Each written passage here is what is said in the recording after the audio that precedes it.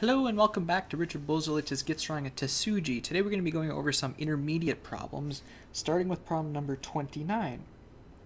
Black is trying to capture this isolated stone, uh, so how does Black want to do that? Black should Atari from this way, because Black can easily capture this if White tries to escape. Um, and an even better reason is if Black Ataris from this way, White can get this free forcing move uh, because black needs to come back and capture.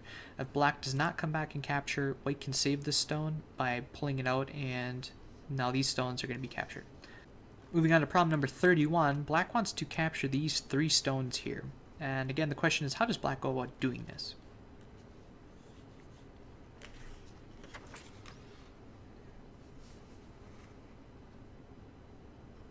Black's move is to descend here. And the reason for it is black now has three liberties, white has three liberties. White would be taking a liberty if he uh, tries to go here. So white's best move is here, but it's kind of wasted because black can just go here. And now white needs to connect before he can Atari from this side, and trying to Atari from this side would be self-Atari. Moving on to problem number 36. Black again wants to capture this single stone. This is actually very similar to the other one we just did. Black should Atari from this way for the same reason. Because if black Ataris from this way, white gets the this free forcing move, forcing black to eventually come back and capture or lose those two stones. Moving on to problem number 39, black wants to capture these three stones. How does black go about doing that? Black's move is here, and if white Ataris this, black will give it up and start a squeeze White captures, black Ataris, and now these stones are dead. And actually, black doesn't need that last move. Uh, either one, actually. If black does not go here and instead just descends, now white has enough liberties to win this capturing race over here, and now black can no longer kill these, and these could potentially die as well.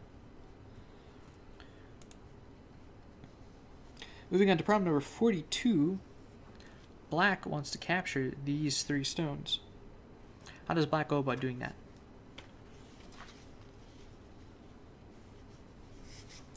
Black's move is the cut here, and when White Atari is this way, Black will extend the stone, even though he can't save them. And this is the eye-stealing Tesuji, um, I think it's called.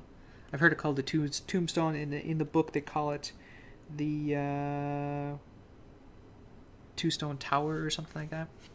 So White's next move is to Atari this.